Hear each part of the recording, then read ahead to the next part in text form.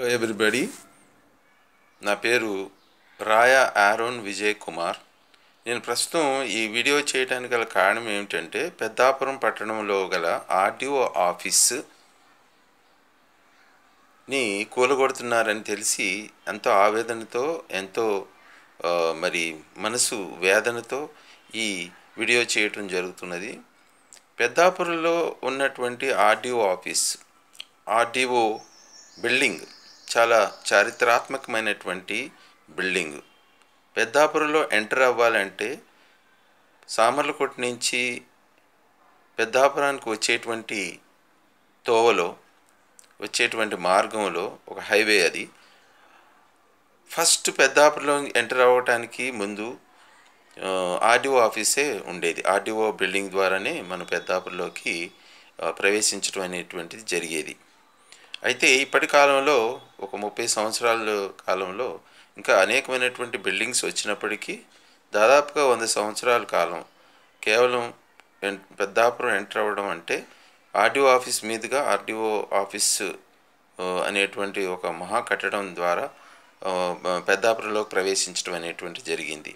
పెద్దాపురం అనేటువంటి పట్టణానికి చారిత్రాత్మకమైనటువంటి పట్టణానికి పేరు ప్రఖ్యాతులు రావడానికి గల కారణం వత్సవాయి కుటుంబీకులు వత్సవాయి సంస్థానం అనేకమైనటువంటి సంవత్సరాలు మూడు వందల సంవత్సరాలు పరిపాలించినప్పటికీ ఇప్పటికీ కూడా వత్సవాయి వారు అంటే ఎవరో తెలియదు కేవలం హవేలీ అనేటువంటి బిల్డింగ్ వారికి ఉన్నది. ఇక్కడ ఒకప్పుడు వత్సవాయి వారు పరిపాలన చేశారని చాలా కొద్ది మందికి తెలుసు. కానీ ఆర్డీఓ ఆఫీస్ మాత్రం అందరికీ తెలుసు. ఎందుకు అని అంటే ఈ ఆర్డీఓ ఆఫీసు నూట పదకొండు సంవత్సరాలుగా ఇక్కడ ఉన్నటువంటి ఈ రెవెన్యూ డివిజన్కి ఈ ఆర్డీఓ ఆఫీస్ ద్వారానే మరి అన్నిటి అన్ని రకాలైనటువంటి ఆర్డర్స్ వెళ్ళడం కానీ ఈ రెవెన్యూకి సంబంధించినటువంటి రికార్డ్స్ చరిత్ర అంతా ఇక్కడే ఉన్నది అనేటువంటి విషయం మాకు అందరికీ తెలుసు.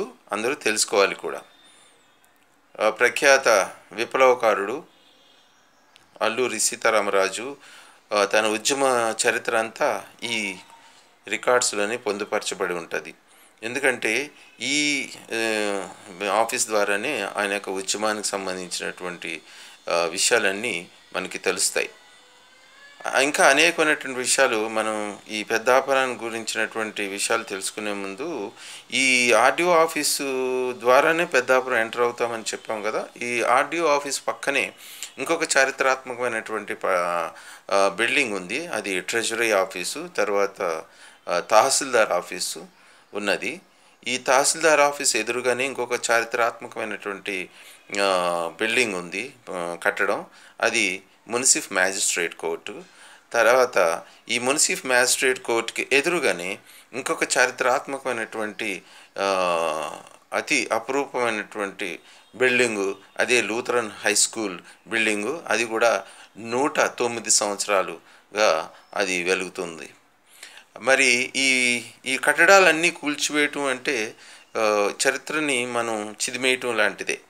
మరి ముఖ్యంగా ఆర్టీఓ ఆఫీస్ ద్వారానే మరి పెద్దాపురంలోకి మరి ఇదివరకు ఎంటర్ అయ్యేవాళ్ళు. ఆర్టీఓ ఆఫీస్కి చరిత్ర అది చి- చిరునామా ఏంటంటే పెద్దాపురం పెద్దాపురం చిరునామా ఆర్టీఓ ఆఫీసు. ఆ విధంగా ఉండేది.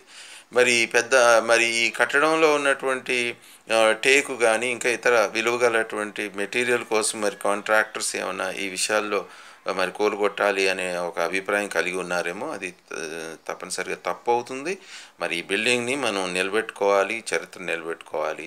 మరి ఈ ఈ విషయంలో ఎంతో ఉద్యమం చేస్తున్నటువంటి పెద్దాపురం స్థానికులు కొంతమంది ఈ విషయంలో చాలా గొప్పగా పోరాటం చేస్తున్నారు. ఆ పోరాటాన్ని అంతటికీ మేము సంఘీభావం ప్రకటిస్తున్నాము. మరి పెద్దాపురంలోనే మా మా పేరెంట్స్ కానీ మా బ్రదర్స్ కానీ మా సిస్టర్స్ కానీ లూథరన్ హై స్కూల్లోనే చదివారు. నేను పెద్దాపురం లూథరన్ హై స్కూలు చదివిన తర్వాత మహారాణి కాలేజీలోనే చదివాను. నేను ప్రస్తుతం హైదరాబాదులో ఉంటున్నాను. అమెరికాలో దాదాపుగా పదిహేను సంవత్సరాలు వివిధ బిజినెస్ తర్వాత ఉద్యోగరీత్యా అక్కడ ఉన్నాను. అయినప్పటికీ కూడా పెద్దాపురాన్ని మర్చిపోలేదు. ఆర్డీఓ బిల్డింగ్ని అసలు మర్చిపోలేదు. ఇంకా వత్సవాయి పరిపాలనకు సంబంధించి ఎవరికి తెలియకపోవచ్చు కానీ ఆర్డీఓ బిల్డింగ్ అందరికీ తెలుసు. కాబట్టి నేను అందరికీ మనవి చేసేది ముఖ్యంగా మరి పెద్దాపురం ప్రభుత్వానికి పెద్దాపురంలో ఉన్నటువంటి అధికారులకి తెలియజెప్పేది ఏంటంటే ఈ